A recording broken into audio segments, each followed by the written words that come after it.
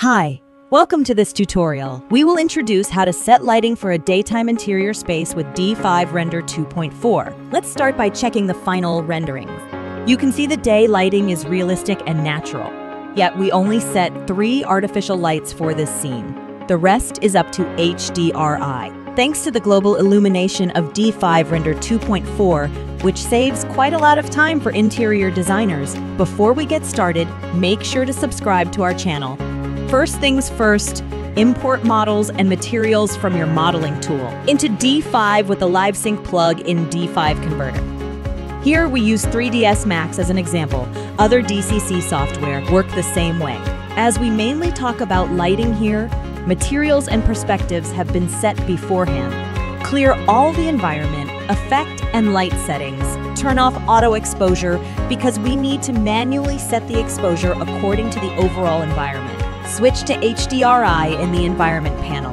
We'll share several high-quality HDRIs in the video description. You can download them and give them a try. Here we choose an almost pure white HDRI. At this time, the scene will become dazzling because the HDRI itself is very bright, plus the significant improvement of D5GI. Thus, we need to reduce the HDRI brightness to 0.2 to fit with the daylight interior atmosphere. We switch on the sun option, give it a proper angle, and adjust the sun disk radius. Then adjust the color temperature of HDRI Sky Cooler while that of the sun is warmer.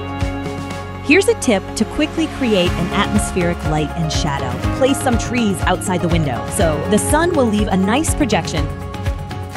After finishing the setting, don't forget to save these changes by clicking Update in the Scene list. As you can see, powered by D5GI, the effect of natural light alone is already very good. For this kind of wabi-sabi style, dim and high contrast effects can better deliver the vibe. Now the ambient lighting has been set. We need more details of specular reflection and a better balanced brightness of environment. So we're going to add some artificial light. Note that the D5GI performs well in interior lighting. You only need one or two lights for such a living room. First, set a main light source for the space. We add a rectangular light far away outside the window and make it a bit tilted. Increase its attenuation radius to cover the whole model. Save these settings and continue to edit this light. Give the light a color temperature of around 6200, which makes it similar to the skylight. As the light has a large size, it shouldn't be too bright. Why do we need this rect light? First, to better light up the scene. When the wall and floor materials look dark, HDRI alone is not sufficient to balance the whole picture. If we increase HDRI, lighting intensity, it may result in overexposure. Therefore, a rectangular light is a better choice. Second, to refine the details, the light source enables more specular details on reflective objects. Take this metal texture, for example. You can see the difference before and after the light is turned on. Move on to add the next rect light, which has a smaller size than the window. Set a barn door angle to create focused light beams, a neutral color temperature, and a proper brightness. In this way, the room will be more atmospheric when the light passes through. It will also enhance the contrast of the scene and give objects clearer outlines, thus making them look more solid. If the room has a glazed ceiling or ground, the light will add more reflections.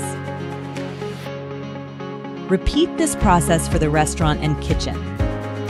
Now you can see the difference. To better reproduce the lighting in the real world, we put some spotlights on the ceiling and some strip lights in the dark corners.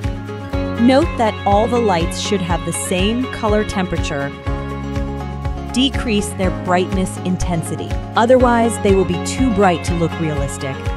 The lighting is all set.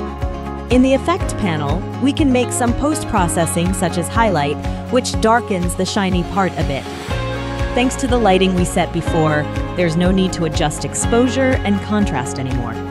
Pull the white balance to the right, and the scene will have a warm yellow tone which suits the wabi-sabi style. Finally, add a bloom effect.